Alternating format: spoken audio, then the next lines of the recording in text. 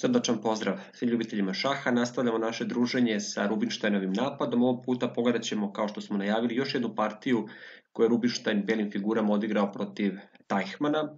E, partija je igrana godinu dana ranije od prethodne, ali je u suštini odigrana na bolji način od strane crnog igrača, odnosno da kažemo crni je primenio e, bolje odbrombeno sredstvo, ali ipak ni to nije bilo e, dovoljno da se savlada Rubinstein. Pogledamo što se u ovoj partiji dogodilo. Preko uvodnih poteza preći ćemo relativno brže zbog toga što su isti, da praktično ćemo do iste pozicije. D4 i D5. Skakač F3 je 6, C4 skakač F6, lovac G5, lovac E7, dakle uvodni potez odbijenog daminog gambita, skakač C3, skakač sa B na D7, E3 rokada, dama C2. Dakle, potez koji nas uvodi u Rubinšteri napad. B6, dakle, isti potez kao iz prethodne partije pešak uzima na d5, pešak uzima na d5, objasnili smo zašto ne može uzeti skakač. Lovac d3, lovac b7, velika rokada, dakle upravo ono što jeste karakteristika postavke igre Rubinštana. Isto tako, podsjeća vas da smo u prethodnoj epizodi ukazali kako je belim figurama Kasparo tretirao ovu poziciju. C5, H4 i na ovom mestu u prethodnoj partiji imali smo potez C4. Videli smo kako se proveo Tajhman, U suštini potez C4 je potez koji je preporučio i preferirao i Šlehter, ali e, videli smo da taj potez ne izjednača u ovoj poziciji, odnosno u ovoj partiji, kako igrana je godinu dana ranije od prethodne, e, igrana je na turniru u Karlsbadu 1907.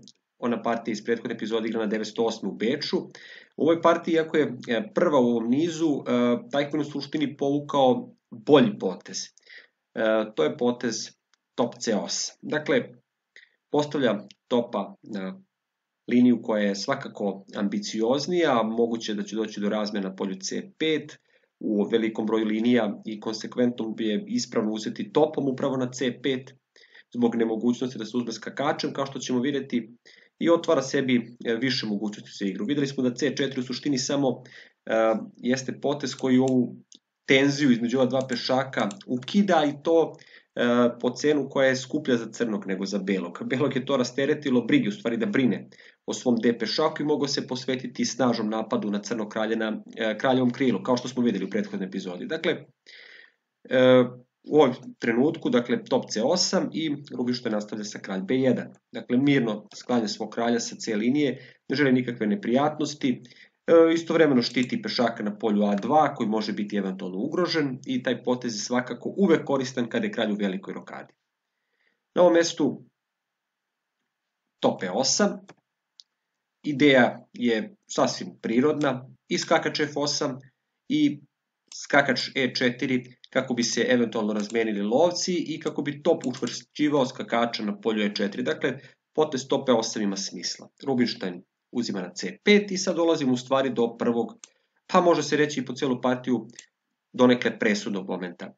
E, ovo su u suštini one pozicije, odnosno oni trenuci u šahovskim partijama kada je potrebno zastati, kada je potrebno dobro razmisliti kako postupiti. Nadam se da ste imali priliku da pogledate, da pronađete na netu stvari materijal Gari Kasparov, odnosno njegov master klas od e, nekih 7 časova, 7,5 časova je materijal dugačak. Može se naći, jedno vreme je čak bio postavljen na YouTube, je dosta dugo stajao zbog toga što je on to, da kažemo, besplatno uradio i nije imao nikakvih e, finansijskih prohteva, da tako kažemo, nije se protivio tome da što više ljudi to vidi. E, upravo on je u velikom broju primjera koje je pokazao u svom masterklasu isticao koliko je važno igrati odlučno, brzo, odlučno, konsekventno i dosledno onda kada je pozicija čista, kada provodimo svoj plan koji smo već unapred zacrtali, ali onda kada je pozicija kritična, kada je potrebno doneti odluku od koje može da zavisi čitav ishod dalje tog borbe, potrebno je zastati i promisliti veoma dobro. Dakle, e, opet razbijamo jednu aluziju da e, vrhunski igrači ili da jaki igrači razmišljaju svaki potez, računaju e, po principu ja ću odigrati ovamo, moj protivnik tamo, ja ovamo, on tamo. Ne, to se ne događa. U suštini veliki broj poteza se mogu vući mirno, odnosno može se vući na osnovu razumevanja pozicije, prosto reći o prirodnim potezima ili reći o jedinim ili forsiranim potezima, ali postoje situacije u partijama, obično su to dve, tri, ponekad samo jedna, ali one situacije kada je potrebno zaista zastati i razmisliti šta je isprava nastavak. U ovoj situaciji upravo imamo takvu poziciju. Crni može uzeti pešaka na polju C5 sa čak tri figure, dakle pešakom, skakačem i topom. E, upravo od ove odluke zavisi kako bi se borba dalje mogla nastaviti. Tajhman izabrao srednje dobro, ili kažemo srednje žalostno rešenje, u suštini povuko je dobar potez, možemo reći ne grešku. Greška je jedino uzimanje skakačem na ovom mestu, iz jednostavnog razloga što ukoliko bi uzao skakač, onda je lovac f6 jako i kao što vidimo pašće uz šah pešak na polju h7, to je relativno jako, lako zapaziti. Ali najjače je bilo svakako uzimanje pešakom. Ono zbog čega vjerojatno Tajkman nije odlučio da se opredeli u stvari za ovako uzimanje jeste to što bi time sebi kreirao ovaj par visećih pešaka, u to vreme je vjerojatno postala bojazan i nije ni postala im tehnika igre razvijena kako igrati ovim pešacima, to je tek došlo dosta docnije sa Botvinikom e, i pravom sovjetskom školom šaha, dakle u ovo vreme igrači su se e, libili, odnosno izbjegavali su da sebi kreiraju ovakve slabosti, da kažemo po znacima navoda. Ovi pešaci mogu biti i jaki i slabi u zavisnosti od toga kako ih igrač tretira i šta sa njima može u konkretnoj situaciji da učini. Očigledno to nije želeo da sebi dopusti e, Tajhman, iako je potez, dakle uzimanje pešaka na CP bilo objektivno najjače. Verovatno bi bili nastavili recimo sa lovac F5, po najbolje, vezivanje skakača, ukoliko dakle G6, lovac H3 istrajava na dijagonali, top B8 sklanja se odvezivanje i sada lovac F4 nezgodno sa daljim proganjanjem e, topa, tako da bi top morali na C8 ili na 8, recimo ukoliko top C8, verovatno H5 sa napadom na rokadu, recimo skakač uzima na H5, skakač uzima na D5 i u svakom slučaju Beli ima dobru poziciju, ali to nije ni ukoliko tako dobro kao što je to ono što se dogodilo u partiji. Naravno, pretpostavka je da bi i Tajhman mogao da pronađe svoje poteze. Beli ima razigrane figure, više prostora, crne su figure stešnjene praktično na osnovna dva reda, ali verovatno bi mogao da odoleva. Dakle, uzimanje pešakom je svakako bilo najbolje rešenje. Videli smo da je uzimanje skakačem veoma jednostavno gruba greška. Tajhman se odlučio za uzimanje toplu, što nije greška, ali nije najžilavije. Skakač D4. I sada na ovom mestu sledi opet greška, ali greška koja je prirodno usledila kao konsekvenca čitavog plana koji sprovodi Tajhman. Kada je već postavio, kao što smo videli, svog topa na, to, na E8, jasno je da on ima u planu potez skakač E4, kako bi razmenio svog skakača za belog skakača ili za belog lovca i kako bi razmenio ova dva lovca. Dakle, jasna je ta ideja, ali nije računao s tim da Rubinšte već ima spremljeno mnogo jače oružje. Verovatno na ovom mestu, umesto poteza skakač E4, bilo bolje otpočeti sa ovim napadom pešačkim na daminom krilu. Dakle, A6, pa onda B5 i tako dalje. Ali on vuče skakač E4, naravno lovac uzima na E4. Skakač nije mogao uzeti zbog toga što je bio vezan. Pešak uzima na E4 i skada skakač sa D na B5. Veoma, veoma neugodan potez. Kao što vidimo, pretnja je izuzetno jaka. Pretnja je potez skakač D6 sa napadom na topa i s napadom na lovca koji nije zaštićen. Naravno, ovaj lovac je vezan i ne može uzeti skakača. Mora nekako da se pozabavi ovom pretnjom. E, Tajhman je odlučio za potez lovac A6, koji je ponajbolji. Dakle, on prosto jedno od ovih potencijalno ugroženih figura preventivno sklanja i postavlja na dobru dijagonalu. Ali sledi potez dama A4. Dakle, ponovni napad na ovu nezaštićenu figuru. I sada naravno Tajkman opet povlači logičan potez. Razmenjuje tog lovca za neugodnog skakača, drugi skakač uzima na B5 i dalje je dakle, u vazduhu ovaj pretnja, pa potez je veoma neugodan i pokušava Tajkman da se brani veoma razumno. Dakle, uzima lovca na polju G5, upravo sprovodi u, plan, sprovodi u delo svoj plan, dakle da olakša obranu razmenom što je moguće većeg broja lakih figura. Dakle, uzima na G5, pešak uzima na G5, i sada potez top E7. E, postavlja se pitanje da li je mogo već uzeti pešaka na polju G5. Ukoliko, dakle, dama G5, što se čini najracionalnijim, jer napada i pešaka na polju G2, skakač D6 bi neminovno sledilo, top E7, top je napadnut, mora se pomeriti. Ukoliko padne pešak na polju A7, problem je u tome što bi ovde crni morao da povuče ručnu. Tako kažemo, i mora bi da se zaustavi. Nikako ne bi smeo da se zaleti da uzme pešak na polju G2 jer je izuzetno jako B4 tempo i snažan tempo na ovog topa i sada praktično veliki broj dobrih poteza. I skakač F5 je izuzetno jako, pa čak i skakač, E8, skakač C8, što se čini ovako na prvi pogled nevidljivim, ali izuzetno jak potez. Treba zapaziti da je top nebranjen i da je kralj slab po osnovnom redu. E, tako da poteza koji se opredelio Tajkman ignorišući pešaka na polju G5 nije nikako slab. Dakle, top E7. On u suštini u partiju igra bolje nego ovu naredne godine, dakle još jednom postavljam. Ponavljam to, onu partiju koju smo videli u prethodnoj epizodi. Top D4, Mada ovde treba reći da osim poteza top D4 za koji se opredelio Rubinstein, pritisak na pešaka, e, postoji veliki broj drugih poteza koje možemo ukratko pomenuti takođe, dakle veoma dobri poteza. E, sigurno je dobar potez uzimanje pešaka na polju A7. Ali vjerojatno nije želeo da se upušta u avanturu grabljenja pešaka na rubu ploče, cenio je da ima jači napad. Recimo, ukoliko skakač uzme na A7, vjerojatno dama C7, skakač B5 tempo na damu, dama C6 i onda opet mora da istrpi veoma jake udare. Dakle, top D6 tempo na damu, dama je praktično ostala bez polja, ukoliko uzme na B5, dama 8, naravno top mora, eh, skakač mora štititi top D8 i pritisak je toliko nesnosan da ne može eh, zadugo eh, u ovoj situaciji crni odolevati. Takođe treba reći da osim poteza skakač uzima na S7, svakako je dobar potez recimo i F4 na ovom mestu. Ali vratno nije držao da se upušta u takve avanture uh, Rubinštein. Ideja ovog poteza je sasvim jednostavna. Ukoliko uzme crni uz ampasa na F3, naravno time je veoma lukavo dakle, otvorio četvrti red za prolaz sve kraljice na polje H4 ovaj potez bi automatski odmah dobijao.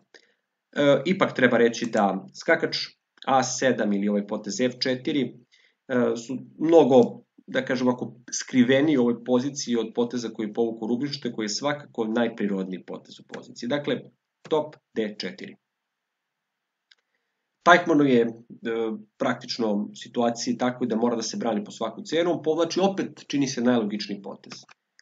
Dama A8. Dama se čini pasivnom, ali pokriva, da kažemo, oba ova pešaka, bar za neko vreme. I sada sledi potez koji očigledno nije imao u vidu.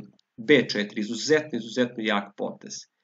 E, Tajkman je odlučio u ovom trenutku da povuče svog topa na osnovni red, dakle povuku je potez top C8, možda je nešto bolje bilo top G5, Naravno, top C1 bi ovde usledilo i veoma, veoma teška, teška odbrana bi dakle, bila dalje u, u vidu. Dakle, ovo je velika jaka pretnja, ovo je pretnja, dakle, sa idejom prolaza topa na osmi red i padom crne dame, praktično zbog ugroženosti kralja i slabosti kralja.